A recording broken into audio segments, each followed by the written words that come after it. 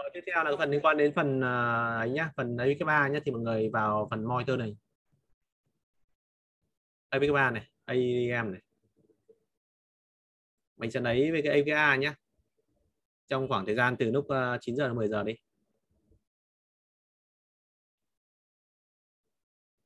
10 giờ. 10 giờ mình bật à?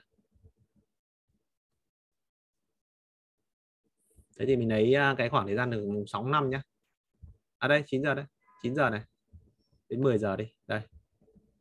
Một tiếng chạy một lần này đây.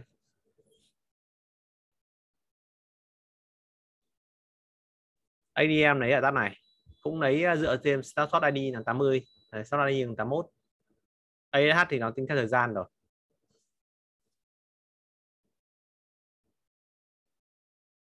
Rồi các cái thông tin của nó này. Cái, cái lab thì nó ít lắm mọi người cứ về lấy cái APA trong cái ờ, máy thật của mọi người. Uh, hot name Linux x86 bit là 16 core 16 CPU 16 core socket 4 memory 19 GB begin n 54 db time là 0.4 ở đây thì uh, một số cái thông tin này db time thứ. Số lượng uh, câu lệnh SQL thực hiện trên trên mỗi transaction là 611 rollback số transaction trên dây là bao nhiêu? Đây là một số transaction trên dây cũng là quan trọng, là một số ừ, khi nào mình cần cái số transaction trên dây thì mình đọc nhé. Số log in thứ, số lượng thực thi công lệnh SQL là 1221 vân vân. Cái này target là 100% thì càng gần 100%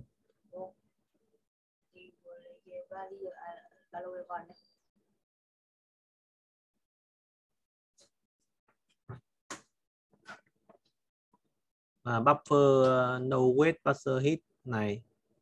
Thì cái này trong cái này thì cái thông số nó hay uh, không gần 100% nó nó liên quan đến uh, cái part cái part có nghĩa là giả sử chúng ta có sẵn part trong uh, tức là đã phân tích rồi trong bộ nhớ thì à, cái à, thông số liên quan đến part này thì nó gần 100% còn nếu mà sử như mà chúng ta cần part nhiều thì khi đó hiệu năng của câu lệnh nó chậm đi bởi vì câu lệnh nào nó cũng phải part ấy. Hoặc nhiều câu lệnh part thì nó chậm đi rồi nhưng mà mình sẽ tập trung vào cái phần này này. Top 10 event này là cái quan trọng nhất trong cái phần mà APKA thì cái đấy là cái mà mình nhìn vào đầu tiên. Nếu mà xử ở đây thì mình có thể thấy rằng cái DB CPU thì nó chiếm phần lớn ấy, 93 phần trăm. Weight là 24 93 phần trăm thì vẫn ok thôi bởi vì là phần lớn nó nó dùng CPU để tính toán thì chẳng sao cả. Các thành phần khác nó nhỏ nhỏ thôi ví dụ như là cái phần ờ, obsolete file này Azure này, DDL thứ IO này, IO concurrent nó có 0,8% thì chẳng vấn đề gì. Nhưng mà khi tất cả thành phần ví dụ concurrent nó cao thì mình phải xem lại hoặc là user IO nó cao ấy, thì mình phải xem lại. Nếu concurrent cao thì mình phải nó là weight rồi thì mình phải xuống ngay những câu lệnh mà gây weight thì mình tối ưu. Nếu mà user IO cao ấy, thì bắt đầu mình sẽ phải xuống ngay cái thành phần phía dưới kia để mình xem là câu lệnh nào nó quét IO nhiều à, cái mảng thứ ba là CPU cao ấy, thì mình sẽ xem là cái CPU nào công lệnh nào chiếm CPU như trong trường này nhé thì là CPU rồi. Thì cái kinh nghiệm đọc cái này thì mình đọc nhiều cơ thì mình mới đọc được. Thì nó tóm lại những thành phần như thế. Một là dùng CPU nhiều thì mình xem công lệnh nào chiếm CPU nhiều để tối ưu. Hai là dùng IO nhiều chiếm nhiều IO thì mình xem những công lệnh nào chiếm nhiều IO phải dưới SQL lệnh thứ ba là mình lóc là có nghĩa là mình quét nhiều. Là thế thôi. Còn tất cả những thành phần này liên quan đến quét ở đây thì mình database của mình chẳng có quét gì mấy đúng không? Vẫn là liên quan đến CPU thôi, nó dùng phần lớn. System IO thì concurrent IO đây thì mình sẽ xem của xuống cái phần SQL nhé, static nhé. Cái SQL static này là có có thể nói là phần mà nó chứa tất cả những câu lệnh mà nó chiếm tải. Của mình là không, của mình là chỉ hệ thống test nên không có câu lệnh chiếm tải mấy. Thì cái cách đọc của những câu lệnh này là gì? Câu lệnh này là câu lệnh mà chạy thời gian dài nhất như vừa rồi là CPU đúng không? Thì mình sẽ tập trung vào phần CPU trước đi. À, uh, CPU này thì mình xem này. Câu lệnh này là câu lệnh chiếm nhiều nhất này. Nó sẽ sắp xếp từ trên dưới. Mình thông thường mình sẽ thể dụ y tầm khoảng 5 đến à, uh, 5 câu lệnh ở trên tốt này thôi. Thì nó sẽ giải quyết được hầu như tất cả những vấn đề phía dưới. Mình không phải tối ưu tất cả những câu lệnh đâu nó dài lắm nhiều lắm. Ở đây thì giả sử như cái câu lệnh đầu tiên này à, phần trăm phần trăm ừ, theo CPU này phần trăm là thường là mình sẽ có tối ưu những câu lệnh này thôi này là chủ yếu nó nó là dùng data pump thì nó nó cũng chả có gì để tối ưu cả. Thông thường câu lệnh của mình nó chạy như nào thì mình chú ý cái câu lệnh đó và cái phần trăm của nó thông thường nó sẽ phần trăm ví dụ như là câu lệnh để chiếm ờ, 15 hay 20 phần trăm là thế đúng không? Ở đây cái phần trăm của nó nó hơi nhiều bởi vì do mình data pump nó vượt quá cái phần này nên cái, cái cộng này không không là phải một trăm phần trăm đâu. Đấy. Với cái câu lệnh liên quan đến hệ thống này thì mình không không tối ưu gì đâu. Kệ thôi. Chả tối ưu gì cái câu lệnh liên quan nghiệp vụ ấy, thì bắt đầu mình phân tích ví dụ như là ở đây không có câu lệnh nghiệp vụ thì hơi khó. Xem lại câu lệnh nhà theo thời gian chạy nè. Lúc nào mà người cũng à, xem câu lệnh nhé và cái total nhé là chiếm bao nhiêu phần trăm. Bởi vì khi đó mình chỉ tối ưu vài câu lệnh thì mình có thể đạt hiệu quả ngay. Tiếp theo phía dưới này. đây câu lệnh này đi. Liên quan đến câu lệnh liên quan đến IO này thì mình ví dụ như câu lệnh các cái thành phần tiêu chí trên nhé mình uh, tìm được vài câu lệnh ở top ở trên này, này. Và cái total của nó này cái total phần trăm là cực kỳ quan trọng này. Ở đây mình chỉ cần tối ưu cho nó là một cái 24 phần trăm một cái 16 phần trăm một cái 13 phần trăm. Nhiều khi chỉ cần tối ưu ba câu lệnh thôi là mình có thể giải quyết được rất nhiều cái về sau rồi. Có những câu lệnh mà nó nhỏ hơn tức là đem lại hiệu quả cho mình ít ý, mình không không không làm. Tức là nguyên tắc của mình chỉ làm 10 đến 20 phần trăm nhưng đem lại tầm 80 đến 90 phần trăm hiệu năng là database thì mình làm. Đánh giá ví dụ câu lệnh này khi mà hệ thống thật của mọi người ấy, thì cái phần total phần trăm nó không phải như này đâu mà nó sẽ như này này. Nó sẽ như này thì là khi đó mình tìm ra được câu lệnh nó sẽ tối ưu nó sẽ dễ, dễ dàng hơn. Ở đây thì đó là câu lệnh mà mà quả hệ thống thì mình cũng không tối ưu được. Tiếp theo ghét thì những cái ờ, mà nó có hệ thống ờ, vào là data bump ấy thì nó sẽ phá vỡ cái thằng total đi nó sẽ rất là khó. Mình sẽ tìm thời điểm khác mà không có thằng không có thằng data pump ấy, thì nó sẽ dễ nhìn hơn. Em hỏi thầy ừ. À, trong khóa học của mình hay là tài liệu của thầy có cái bài nào nói riêng về cách tuning những cái câu query nào không thầy? Tối ưu riêng cái này á. À? tối ưu tối ưu các câu query đó thầy. Cái này thì không có đâu em ơi. Tốt nhất như này này em uh, em lấy cái cái a của em đi. Xong rồi hôm sau thầy sâu từ cái a của em thì uh, sẽ ra được cái vấn đề. Được sâu nó là cái sâu nội bộ thôi. Có thể không update cái video.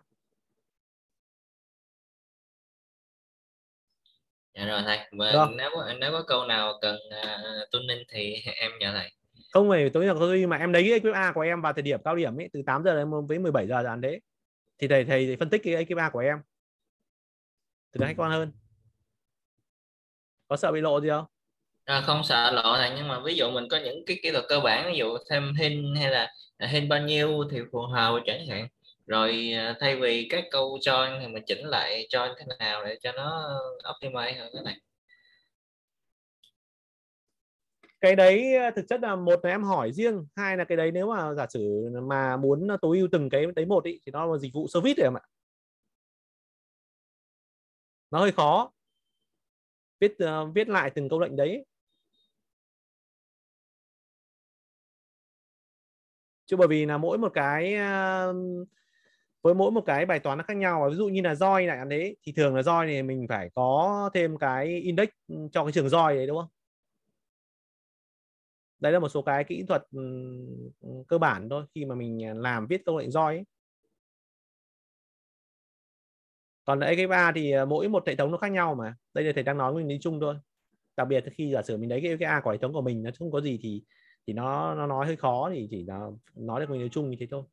Còn em muốn thầy uh, giảng chi tiết một cái API nào đó thì uh, em có thể lấy một cái API của hệ thống bên em chẳng thế. Thầy làm ví dụ demo cho em cũng như mọi người. Hoặc là ai đang vận hành hệ thống ấy thì có thể về lấy API của vào giờ hành chính từ lúc 8 giờ đến 17 giờ. Xong rồi thầy sẽ sâu lên API để thầy giảng chi tiết cho. Thì nó trực quan hơn. Nhá dạ rồi thầy. Ừ.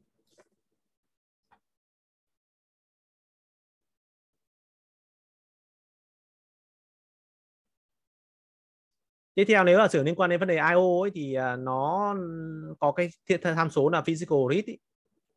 tức là đọc về phía IO phía data file nhiều. Thì mình cũng chú ý cái tham số phần total phần trăm này. Nếu là sử tham số total phần trăm này nó vượt quá 100 phần trăm thì nó không có giá trị đâu nhưng ở đây nó trong cái phạm vi 100 phần trăm thì nó vẫn còn giá trị ở đây là ví dụ như là mình nhiều khi mình chỉ cần tối ưu đúng câu lệnh này thôi. Đây câu lệnh này câu lệnh mà vì ví dụ thôi trong cái phần này thôi.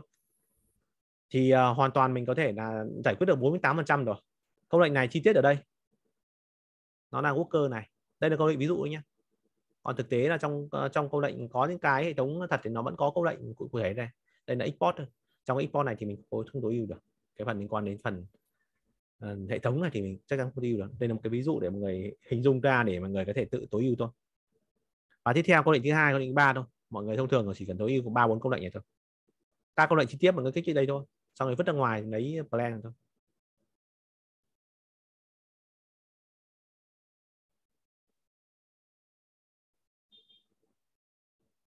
Đây là cái ờ, tiêu chí liên quan đến execution của cái ờ, SQL này. Số lượng câu lệnh thực hiện thi ở đây ví dụ như là cái này nó chạy trên 927.900 777 816.690 hay 808.739 hay 808.000 nhiều khi câu lệnh này nhá thì uh, gần một triệu lần. Giả sử câu lệnh này chạy uh, nhiều khi 100 giây mà mình tối ưu xuống tầm khoảng 50 giây nó sẽ giảm nửa được cái thời gian giảm nửa được cái 100 giây hay 50 giây nó không đáng kể nhưng thực sự khi mà hệ thống chạy nhiều như này thì cái thời gian đấy là coi như mình đã tối ưu được cho nó giảm giảm giảm một nửa cái thời gian chạy được cũng khá rất hiệu quả. Còn đối với cái, có cái câu lệnh mà chạy nhiều khi chạy cả một tiếng đồng hồ mình tối ưu cho nó chạy xuống còn nửa tiếng thì nó cũng là cái vấn đề tốt rồi. Nhưng mà ừ, với những câu lệnh chạy nhiều này thì nhiều khi cái thời gian tính là mi giây nó rất quan trọng. Ngoài ra một số tiêu chí khác liên quan đến path rồi xe memory cái thứ đây là chi tiết câu lệnh này một phần nữa mà liên quan đến DBA cũng có thể làm ấy, đó chính là cái phần liên quan đến S, uh, advisor của SCA và PGA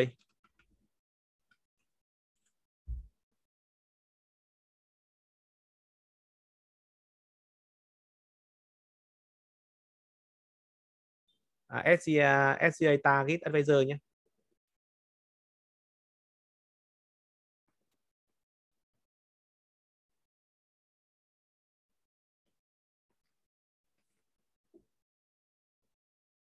Hệ thống của mình đã đặt SCA là 11 uh, GB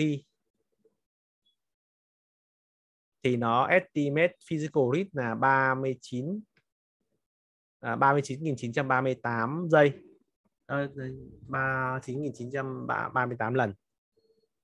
Thì mọi người thử xem là xem cái tham số này à, khi mình giả sử mình đặt cái SGA tăng lên hay SGA giảm đi thì cái hiệu năng có tốt hơn hay giảm đi không? Kém đi không?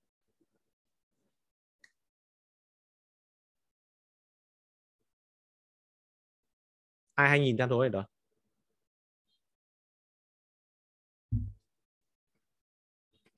tức là khi mình đặt SGA thì à, hay PGA mình đặt dựa, dựa trên cái tham số nào? Dựa trên tiêu chí nào? Và khi hệ thống đưa vào sử dụng rồi thì mình đã tuning được cái tham số SGA và PGA cho nó phù hợp chưa?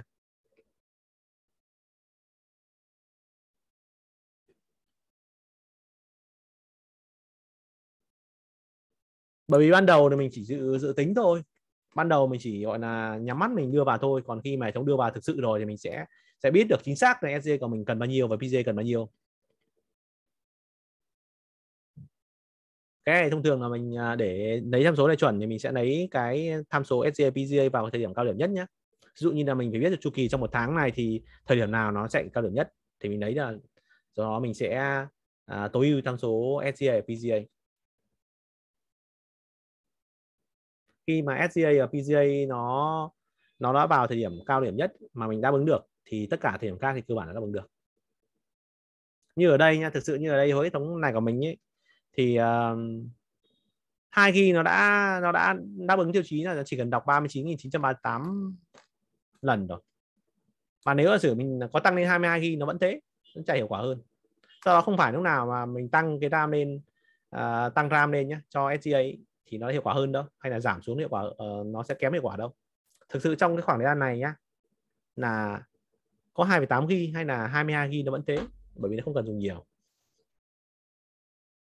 Đấy nhá do đó là khi mọi người chú ý là khi là sử như là cái tham số SGA ở đây là mình 11 gb nhá khi mình tăng lên mà cái tham số SGA physical read này này nó đạt đến ngưỡng ấy, mà mình tăng hơn RAM RAM cho SGA nó cũng chả hơn được đâu. Đấy là có điều lưu ý như thế nhá. Tiếp theo là cái à, PGA ở đây mọi người xem tham số PGA của mình đặt là một ghi đã hiệu quả chưa nếu mình giảm xuống 768 m hay mình giảm xuống à, 120 TM hay mình tăng lên 8 ghi thì cái tham số à, đấy nó có ảnh hưởng gì đến tính đến PGA không? PGA là bộ nhớ được cấp phát cho các thành phần về về về um, process monitor nhé.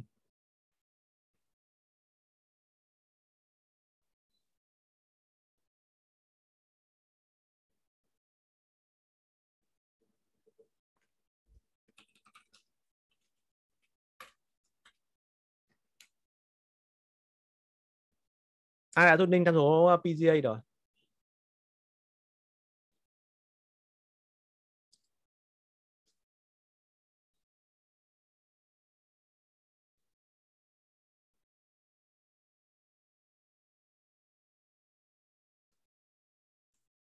Thì đây nhá, còn mình một ghi này. Thì nó đã estimate time là 53.500 trong khi đó là cái thành phần liên quan đến uh, estimate extra megabyte read to to này thì nó đã không rồi đạt về không rồi. Thì tới thời điểm là một uh, ghi này thì tất cả các tham số này nó đều giống nhau hết. Mọi người chú ý nhá nó giống nhau hết. Thì có nghĩa là đến thời điểm này nó à, tôi yêu rồi. Thời điểm này thôi nhá. Nên thầy bảo là giả sử thời điểm này thì điểm cao điểm nhất. Do đó là khi mà người tăng lên 8 ghi nó không hiệu quả hơn vẫn thế. Nhưng mà khi mà giả sử mình giảm xuống 768 m thì khi đó nó phải ghi xuống đĩa, cần ghi xuống đĩa nhiều hơn này, thì nó còn có 100 101.28 thôi. Còn các thành phần mình mình giảm cái cái bộ nhớ đi thì khi đó nó còn kém hơn nữa. Nhá, lưu ý phần đấy thôi. Đây đây đây là ngưỡng của nó này. Đây bài toán ờ, quả ấy gửi nhá. Thì mình phân tích thử này. Đây là một hệ thống test nào đó thì thôi mình bỏ qua tất cả những thành phần đi. Mình à, xem top à, 5 event Cebu à, là 59,7% mọi người nhìn thấy top event này có ý đánh giá được gì không? Ai nhìn AVA được? ADM được? Ờ, AVKA được?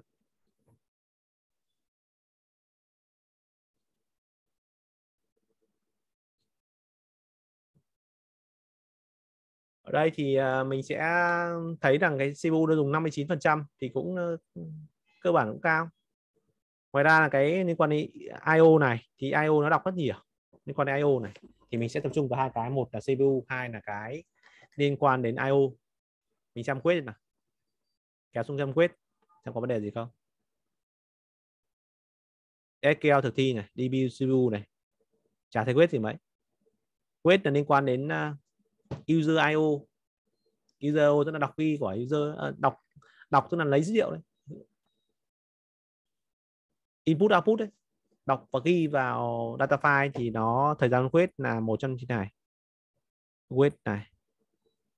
Quét là do Skylet nên là đọc, nó đọc nhiều nhiều block một một lần. Thì đấy, mình tập trung vào CPU liên quan đến cái này mình dựa vào top này, mình tập trung vào CPU này à, hai là cái IO này. Mình kéo xuống SQL static nhé CPU đây. Đây là với câu lệnh này thì mọi người sẽ tối ưu những câu lệnh nào? Tập trung vào tiêu chí nào? Như cái công thức nãy thầy hướng dẫn trong cái file file test rồi. Thì với cái ờ, CPU này thì mọi người sẽ nhìn ra được vấn đề gì? Tập trung vào những câu lệnh nào để tối ưu?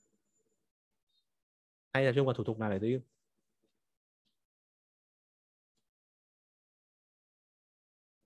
Đây này. Đây bảo nhìn cái phần total db time mà đúng không? Nếu mà như cái total db time nãy là không có giá trị bởi vì nó do chạy cái cái cái, cái scanner job. Còn tất cả những cái này mà tổng cái này nhỏ 100% thì mình sẽ tập trung vào những cái total phần trăm debut time này. Tất nhiên ở trên mình cũng có thể tập trung được nhưng mà nó không có giá trị nhiều chính xác như ở đây ở đây mình có thể tập trung hai câu lệnh này nếu mình làm được tốt hai câu lệnh này rồi những câu lệnh sau thì nó không có rất nhiều giá trị lắm. Hai câu lệnh này nó đã giải quyết được 86% vấn đề rồi. Tức là câu lệnh à, câu lệnh này nó chạy chiếm 43% về Cebu. Câu lệnh này chiếm 43,51% Cebu. Mình chỉ tập trung đúng hai câu lệnh này. Câu lệnh đầu tiên mình kích vào nhá R7 R7 là câu lệnh ở đây mình à, copy ra bên ngoài phía tốt nhá. Copy ra bên ngoài phía tốt. Lấy ra một cái nào copy ra. Ngoài phía tốt. Là chỉ đây. Ở đây là hệ thống của mình test thì không có đâu nhá. Không có data plan đâu. Sau đó mọi người control Enter xuống comment này lại. À, control F để nó ra chạy ra cái này đúng không? Control E. Control E ấy để ra plan ấy explain plan này, này. Nó là cái edit này. Đây là à, uh, explain plan current SQL này thì nó ra plan. Từ plan đó là mình sẽ xem là nó full đâu có full thì có đúng không? Nhé để mình tối ưu. Nếu mà chưa có index thì cho index vào. Nếu mà hệ thống OLTP thì phần lớn là phải cho index vào. Còn đối với hệ thống mà data warehouse ấy thì nó nhiều khi nó không không dùng index gì đâu mà nhiều khi nó phải quét full quét full thì khi đó mình sẽ cho thêm các hình tự panel vào. Cái hình đấy thì, thì mình ờ, check ở đâu? Thì thầy có các cái hình của Oracle này. Thầy có tổng hợp tất cả các hình này.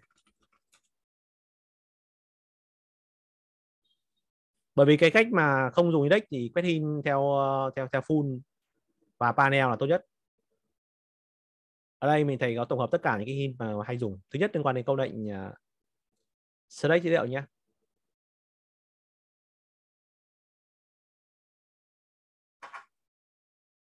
Select dữ liệu đây. Nếu select dữ liệu thì mình sẽ dùng hint panel này A4 A4 hay không phụ thuộc vào cái số lượng mình có co nhiều hay không. Co mình 32 thì mình có thể ờ, để panel đến 24 luôn. 32 nhiều quá.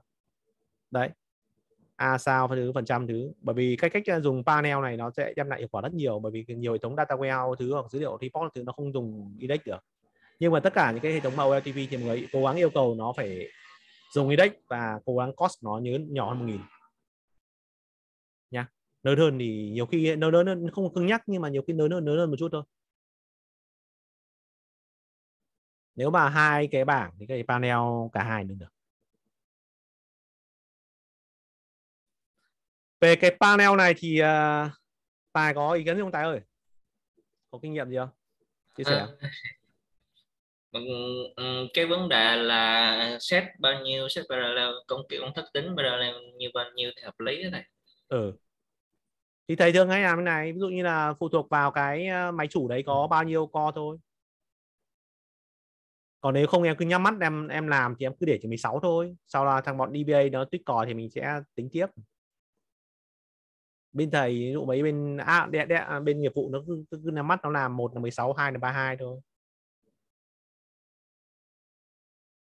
Còn không chính xác thì uh, an toàn hơn thì 8 8 mình chạy đến vẫn chưa chưa nhanh thì mà không thấy nó ý kiến gì đi bên ý kiến gì thì cứ tăng lên 16 chẳng thế. Thì là các cái tham số bình thường đấy. Chắc là đáp ứng được. Bởi vì ngoài uh, em ra còn rất nhiều người khác chạy. Nếu rằng nào em cũng chơi 16 32 thì khi nó chiếm hết tải của người khác người khác không chạy được. Cái này thì cái này nó phụ thuộc vào cái con năng lực của hệ thống các bạn nha. Dạ rồi thầy. Tiếp theo là liên quan đến uh, câu lệnh insert. Cũng có, có dùng panel được nhưng mà nó thêm cái phần có append này. Append này thì nó thêm là nó nó ghi vào cái đuôi file. Còn nếu không có từ khóa append này thì nó sẽ tìm những cái block trống thì nó chậm hơn. Nhưng mà từ khóa này thì nó nó sẽ tốn dung lượng hơn chút. Thì ông nghiệp vụ thì ông muốn nhanh thì ông dùng append nhưng ông DBA thì ông sẽ tốn dung lượng hơn chút đấy. Thế thôi. Và thêm cái từ khóa này có thêm một từ khóa nữa là liên quan đến nosing nó không ghi lốc. Insert không được insert lại thì thôi. Có thêm cả panel nữa. Update thế update cũng có dùng panel được. Init cũng dùng panel được. Insert thì đây insert thì uh, apen, uh, apen nosing và panel là kỹ thuật tốt nhất rồi. Không có cái nào tốt hơn. Rồi uh, index tôi lúc là mình uh, tạo rồi mình uh, static rồi nó không ăn index đâu. Những trường hợp đấy thì uh, đôi lúc mình phải ép in đấy ép index thì ép index dùng như nào? Select uh, sao cộng index xong a. Uh, tên index là tab 1 index 1 index 1 chẳng thế. Tên bảng id bằng cái này. Bởi vì nhiều trường hợp nó ói oan lắm nó không không giải thích gì đâu. Thì mình phải dùng ép in tất cả mọi thứ ví dụ như là nó quét full thì nó không hiệu quả rồi mình dùng ép in thôi và có thể ép in theo hai index. Update cũng tương tự thế, có những câu lệnh update nó trả theo nó trả ăn index gì cả, thì mình phải buộc ép in thôi. Thì đấy là những cái hin mà hay dùng nhất, thầy có tổng hợp ở đây, mọi người tham khảo đây nhé.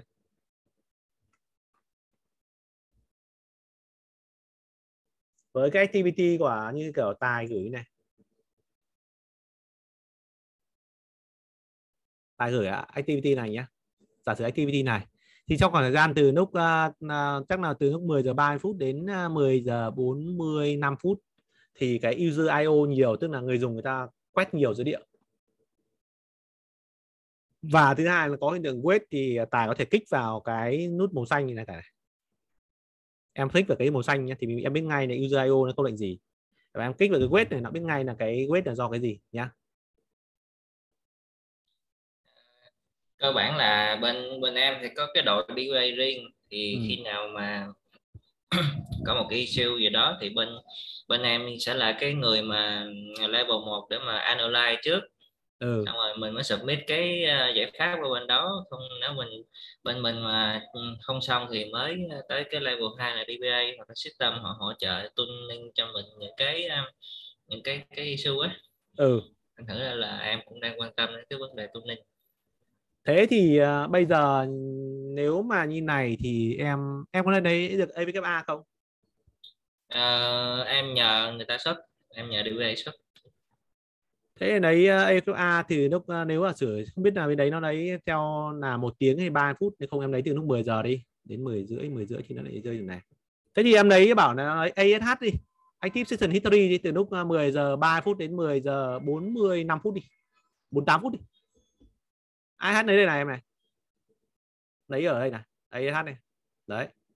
Lấy thời điểm ví dụ như là từ lúc uh, của em là 10 giờ 30 phút đi. Đến uh, bao nhiêu nhỉ? 10 giờ 3 phút đến 10 giờ 48 phút đi. 10 giờ 48 phút. AM nhé. Đấy em bảo nó đấy nhá thời điểm này. Xem suất được ta. Chẳng hạn thế nhá thì ra là chi tiết câu lệnh là, là gì mà? Còn nếu không thì em kích vào đây nó cũng ra câu lệnh nhé em kích rút vào đây nó cũng ra câu lệnh. Thì biết ngay là ví dụ như thời điểm nào đây thì nó là test thì nó không ra dữ liệu thôi thì ra được ngay những cái câu lệnh nào đang chạy ấy thì bắt đầu mình sẽ phân tích câu lệnh đấy thôi. Mình lấy blend câu lệnh đấy. Tất cả những cái mà tối ưu sau này mình đều phải lấy blend thôi cái này chi tiết thì chắc là để thầy à, sẽ hướng dẫn sau tài nhé dạ dạ. Sau nào ví dụ thầy à, bảo là ví dụ em nhìn như này thì em kích vào nút này xem lấy được câu lệnh. Câu lệnh em dùng Ctrl E để em lấy blend cho thầy. Sau này em gửi blend này thì bắt đầu sẽ phân tích tiếp nhá. Chứ cái này thì nó chưa được ra những vấn đề gì. Dạ thầy. Nhá. Dạ. Yeah. ừ. Thì tối ưu dần dần thôi. Thôi mai đi mai giờ thời điểm này nó cao điểm thì em lấy cái câu lệnh ra xong em vứt ờ, plan cho thầy thì vẫn tính tiếp. Thì hướng dẫn em tiếp nhé à, để sau thầy. Ờ sau nhé chứ cái này nó chưa ra được kết quả chính xác rồi tiếp theo là cái lấy tiếp cái như vậy là tối ưu câu lệnh này nhá. Lấy blend xong rồi tiếp tục tối ưu nhá. Rồi. Thì uh, tiếp theo phân tích tiếp đi CPU làm thêm câu lệnh nữa. Kích vào đây. Đây là một cái job nó chạy cái gì đây? Failure. Nó chạy review. PRV này. Có nghĩa là mình phải lấy cái thằng này ra này. Đấy. Cái này nó một thủ tục rồi thủ tục này thì ờ, thì chắc là mình phải mò từng thủ tục đó, trong thủ tục đó là có những câu lệnh nào mình lấy ra mình tối ưu, nhá. Lần mò từng câu lệnh một đấy, tối ưu nó mất công lắm. Ví dụ như câu lệnh này mình viết lại viết lại xong mình chạy, ví dụ như trước trước khi ờ, tối ưu nó chạy mất ờ, tầm khoảng 10 phút, bây giờ mình tối ưu chạy một phút là ok thôi chẳng thế. Trước đấy mình phân tích, trước khi chạy mình phân tích ừ, plan cho nó. Đấy, do đó tối ưu nó cũng hơi mất công. Nó phải lần mò từng câu lệnh một cơ đấy, thì coi như là cái liên quan đến CPU thì mình cần giải quyết hai vấn đề này là xong.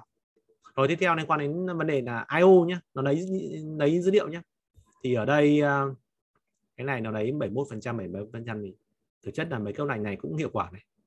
Cứ lấy mấy thằng này ra để tối ưu là hiệu quả. Cứ mấy thằng tốt này, nó chiếm total phần trăm cao này.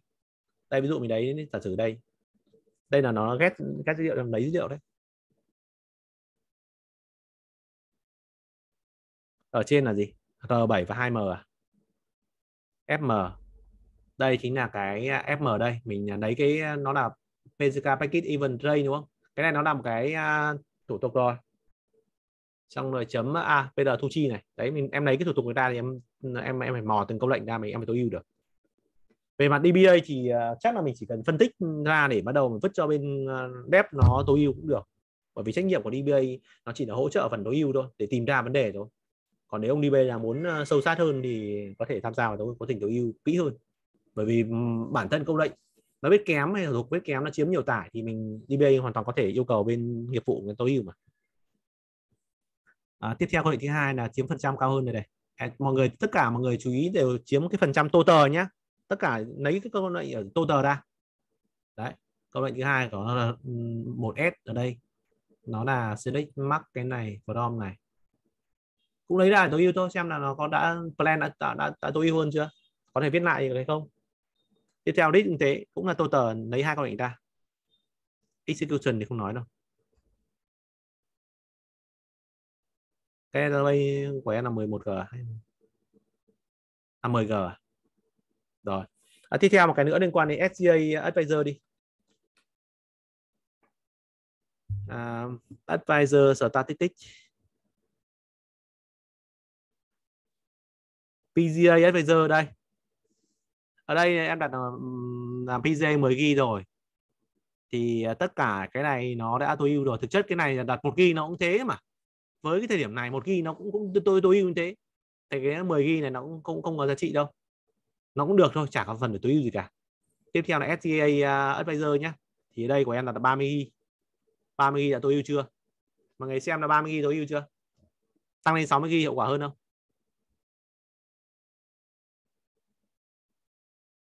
Vẫn thế. nhìn, đấy, nhìn đoạn nào để biết là đặt là 30 ghi 10 ghi đấy ạ. Dựa vào ở đây nó là à, SGA size factor là một này này mày. Nếu là một thì có nghĩa là database của mình đang đặt SGA là 30 GB tương tự như cái BGA cũng thế. Còn hiệu quả hay không thì nó dựa vào cái estimate physical read có nghĩa là giả sử như cái này nó to ra thì nó sẽ chứa được nhiều cái à, dữ liệu trong memory đúng không? Bởi vì thằng à, SGA nó là một phần của memory mà. Đây nó đọc à, 59 tỷ à, 511 bao nhiêu đấy. Thì nếu em tăng lên 60 GB thì nó vẫn đọc 56 nó hơn một tí hơn được 3 tỷ. Nếu mà có điều kiện nếu mà giả sử có dung lượng thì tăng lên còn không thì thôi. Bởi vì nếu mà như em đã em đặt uh, cho nó là 30 GB lên đến 52 GB thì uh, cái cái estimate về physical risk nó cũng cơ bản không khác nhau mấy. Nhỉ yeah, chênh nhiều tí. Nó thay đổi tí. Nó được 59 499 cũng thay đổi một tẹo. Thay đổi được uh, chưa đến một tỷ chắc là mấy chục triệu đấy. nhưng mà khi mà đặt 37 GB với 45 GB chả khác nhau. 37 GB 45 GB nó vẫn thế đúng không? Tức là 37 GB nó đã ừ, tương đương tối ưu với lại 45 GB rồi do đó không phải lúc nào mình đặt cái cái cái cái SDA tăng lên là đã hiệu quả hơn đâu nhé. Bởi vì đến một ngưỡng nào đó thì mình có đặt thêm nó cũng chả cần database của mình chả cần thêm. Do đó lý do là đây mình có thể kết luận là không phải lúc nào mình đặt thêm cái SDA to, to tướng thì nó đã hiệu quả hơn được. Nó có cái ngưỡng tức là database mình không cần dùng đến quá nhiều như thế. Thì mọi người chú ý phần đấy nhé như vậy đây là 30 GB nếu mà sử cần có điều kiện là còn dung lượng có thể tăng lên 60 GB thì nó vẫn hiệu quả hơn nhé. Đây là nó 59 tỷ này, đây 56 tức là đọc IO ít hơn đấy. Đọc IO tức là đọc data file ít hơn. Tức là cần gì nó đã có trong memory rồi, chỉ đỡ được cái phần à, phần đọc từ data file đi thì nó hiệu quả hơn. Đấy thì hai cái liên quan đến advisor, là quan trọng nhất nó là SGA PGA sau khi mà hệ thống mình chạy rồi, mình lấy tải và điểm cao nhất, lấy APK 3 và điểm cao nhất để mình tối ưu tham số đấy à, tối ưu các công lệnh kia thì cơ bản nó sẽ ổn. Là hai cái chính của mình. Và cái weight mình nhìn nó sẽ có weight gì không? Đấy là bàn cái bàn cái cái mấu chốt khi mình tìm hiểu về cái à, cái cái ấy nhá cái là APK 3 nhá.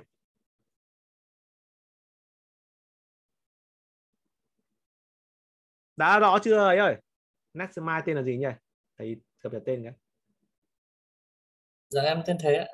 À thế à thế rõ hơn chưa dạ. Rõ hơn chưa? À, em cũng biết xem ạ. Ừ. cái này thì cái kinh nghiệm là cái mình cứ đọc nhiều đi em ạ nhá. Xong đọc ừ. nhiều thì nó vấp vác thì là hỏi tiếp nhá. Vâng vâng cảm ơn thầy. Một cái này bởi vì thầy như khi thầy đọc nó hàng uh, triệu cái cấp A rồi thì nó lại khác với em mới đọc. Thì cứ đọc nhiều nhé thì nó quen đấy mà. Chỉ chú ý vào đấy SQL chú ý phần trăm nhá cái ờ, PGA ờ, hay là SQL này thì ví dụ như SGA thì chú ý phần estimate physical risk này, này nhá. Có nghĩa là nó nhiều memory thì đỡ được cái IO đi. Đỡ được đọc data file. Ấy. nó trên bộ nhớ lên cái rất rồi mà đúng không? Thì làm sao mà em căn cho nó là đến một cái ngưỡng ở đó nó không cần đặt đọc thêm cái cái cái cái estimate này nữa thì có nghĩa là tham số đến đến đấy là tối ưu rồi. Nhưng không phải lúc nào mà em cũng có đủ bộ nhớ bởi vì nhiều khi bộ nhớ của em uh, chia cho nhiều database à, thế đúng không? Hay là chỉ trên cái con máy chủ đấy còn chạy nhiều ứng dụng khác nữa. Thì đấy, nếu mà có điều kiện thì tăng lên nếu mà lấy thêm phù hợp.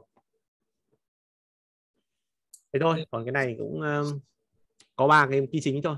Một là SGA PGA là sau khi mình đã tối ưu rồi thì không phải tối ưu nữa. Còn muôn đời mình sẽ phải tối ưu công lệnh SQL bởi vì mỗi một uh, nút là SQL sẽ sinh ra một kiểu. Và mỗi một nút là dev sẽ viết dev một kiểu. Bởi vì nghiệp vụ thay đổi mà đấy thì sau này à, 95% là liên quan đến câu lệnh SQL mình phải tối ưu thôi. Mà SQL tối ưu thì mình sẽ tối ưu ở đâu? Tối ưu ở cái liên quan đến cái total nhá.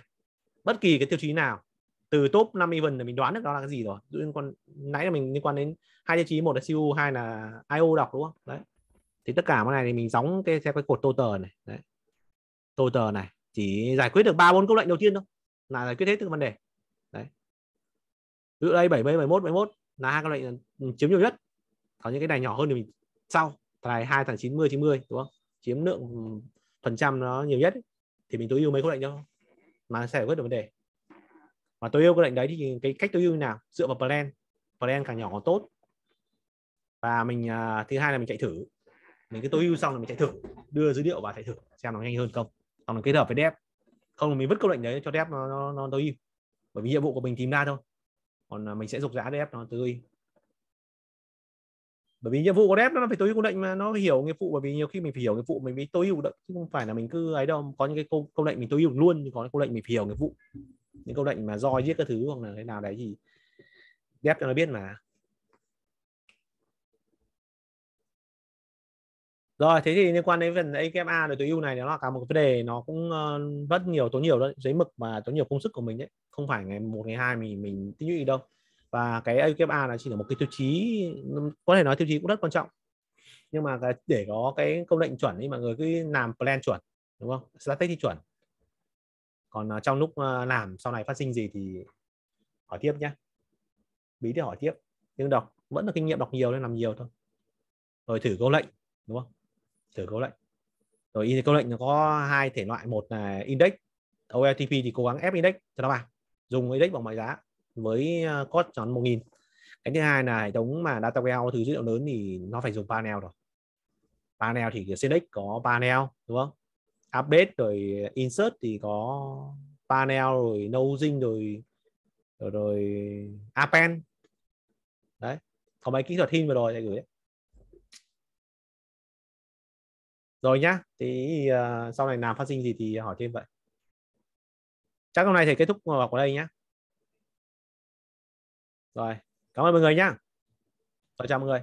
Vâng vâng chào ờ ok chào mọi người. Em cảm ơn thầy ừ. cảm ơn thầy em chào thầy